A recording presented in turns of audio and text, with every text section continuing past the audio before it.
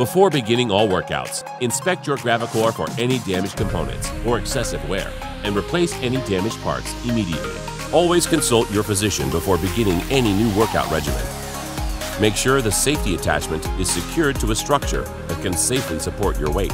Make sure every single buckle is buckled in securely. You must be on a flat, non-slip surface and using proper footwear. Be sure to keep a tight core throughout each rep and keep your spine in proper alignment.